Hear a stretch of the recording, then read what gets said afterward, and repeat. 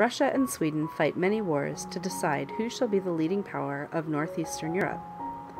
In the year 1698, Tsar Peter set forth upon his first voyage to Western Europe. He traveled by way of Berlin and went to Holland and to England. As a child, he had almost been drowned sailing a homemade boat in the duck pond of his father's country home. This passion for water remained with him to the end of his life. In a practical way, it showed itself in his wish to give his landlocked domains access to the open sea. Here you see a picture of Peter the Great in the Dutch shipyard using an axe on a hull of a boat. While the unpopular and harsh young ruler was away from home, the friends of the old Russian ways in Moscow set to work to undo all his reforms. A sudden rebellion among his life guards, the Streltsy regiment, forced Peter to hasten home by the fast mail. He appointed himself executioner in chief, and the Streltsy were hanged and quartered and killed to the last man. Sister Sophia, who had been the head of the rebellion, was locked up in a cloister, and the rule of Peter began in earnest.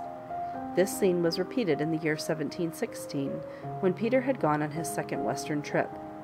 That time, the reactionaries followed the leadership of Peter's half witted son, Alexis. Again, the Tsar returned in great haste. Alexis was beaten to death in his prison cell, and the friends of the old fashioned Byzantine ways marched thousands of dreary miles to their final destination in the Siberian lead mines. After that, no further outbreaks of popular discontent took place.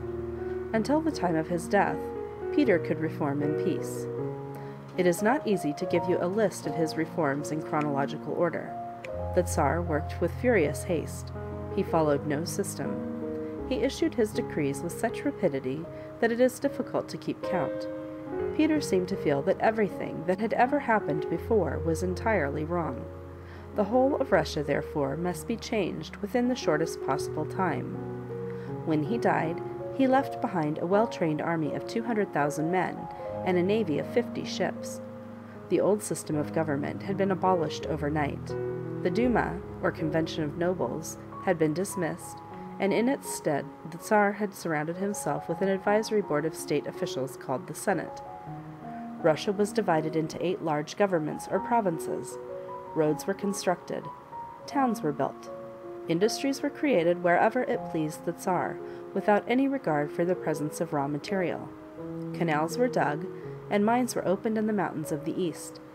In this land of illiterates, schools were founded, and establishments of higher learning, together with universities and hospitals and professional schools. Dutch naval engineers and tradesmen and artisans from all over the world were encouraged to move to Russia. Printing shops were established, but all books must be first read by the imperial censors. The duties of each class of society were carefully written down in a new law, and the entire system of civil and criminal laws was gathered into a series of printed volumes. The old Russian costumes were abolished by imperial decree, and policemen, armed with scissors, watching all the country roads, changed the long haired Russian moujiks suddenly into a pleasing imitation of smooth shaven West Europeans. In religious matters, the Tsar tolerated no division of power. There must be no chance of a rivalry between an emperor and a pope, as had happened in Europe. In the year 1721, Peter made himself head of the Russian Church.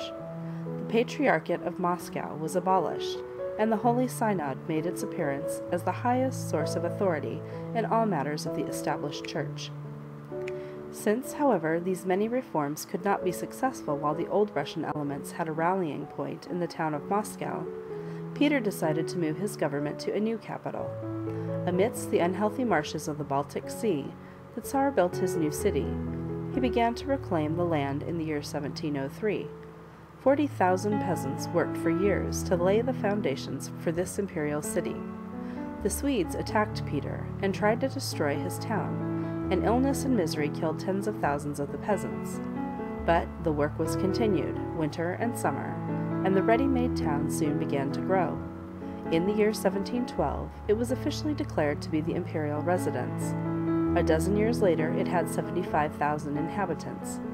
Twice a year, the whole city was flooded by the Neva. But the terrific willpower of the Tsar created dikes and canals, and the floods ceased to do harm. When Peter died in 1725, he was the owner of the largest city in northern Europe. Here you see a picture of Peter overlooking his city, and it says, Peter the Great builds his new capital. Of course, this sudden growth of so dangerous a rival had been the source of great worry to all the neighbors. From his side, Peter had watched with interest the many adventures of his Baltic rival, the Kingdom of Sweden. In the year 1654, Christina, the only daughter of Gustavus Adolphus, the hero of the Thirty Years' War, had renounced the throne and had gone to Rome to end her days as a devout Catholic. A Protestant nephew of Gustavus Adolphus had succeeded the last queen of the House of Vasa. Under Charles X and Charles XI, the new dynasty had brought Sweden to its highest point of development. But in 1697, Charles XI died suddenly and was succeeded by a boy of 15, Charles XII. This was the moment for which many of the northern states had waited. During the great religious wars of the 17th century, Sweden had grown at the expense of her neighbors. The time had come, so the owners thought, to balance the account. At once, war broke out between Russia, Poland, Denmark, and Saxony on the one side, and Sweden on the other. The raw and untrained armies of Peter were disastrously beaten by Charles in the famous Battle of Narva in November of the year 1700. Then Charles, one of the most interesting military geniuses of that century, turned against his other enemies, and for nine years he hacked and burned his way through the villages and cities of Poland, Saxony, Denmark, and the Baltic provinces, while Peter drilled and trained his soldiers in distant Russia. As a result, in the year 1709, in the Battle of Pultowa, the Muscovites destroyed the exhausted armies of Sweden. Charles continued to be a highly picturesque figure, a wonderful hero of romance, but in his vain attempt to have his revenge, he ruined his own country. In the year 1718, he was accidentally killed or assassinated, we do not know which, and when peace was made in 1721 in the town of Nystadt, Sweden had lost all of her former Baltic possessions except Finland. The new Russian state created by Peter had become the leading power of Northern Europe, but already a new rival was on the way. The Prussian state was taking shape.